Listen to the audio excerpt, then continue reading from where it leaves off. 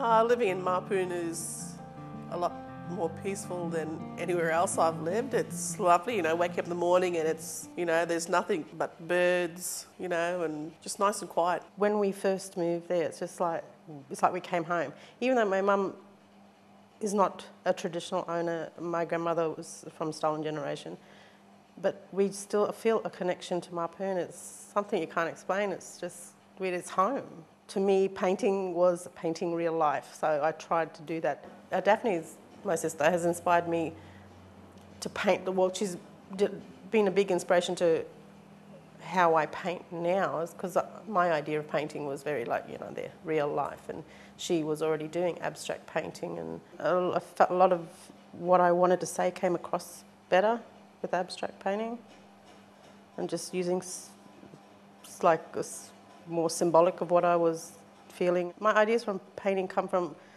what exactly is happening in my life at the moment. Uh, that's how probably a bit of therapy for me, whatever's happening in my life or whatever's concerning me or any issues that are happening that's what I paint about. I've always had an interest in art from high school. I didn't never thought that it would get to where I am now, like selling things and you know producing stuff that I have been producing. Well, for me, I love painting and I like uh, telling my stories through through painting.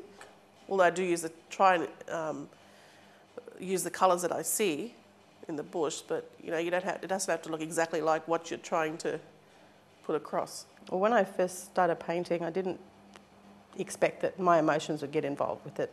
And it took me a while to actually realise that my emotions were coming out in the painting, and I was, and then it actually took me a little bit longer to realise that I was actually dealing with a lot of stuff through my painting. I didn't know about a lot of these things when I was younger. It wasn't until I was older and we'd moved back to Mapoon that I started questioning my mother about her life growing up in Mapoon and what they did and uh, what it was like to live in, in a community at that time and their hardships and yeah, a lot of that has inspired a lot of my paintings. For me, I think um, going to the Cairns Indigenous Art Fair, it's a big step forward and it's an opportunity to meet other artists and uh, galleries, representatives from galleries that you know may not have seen artwork from this far north, north before.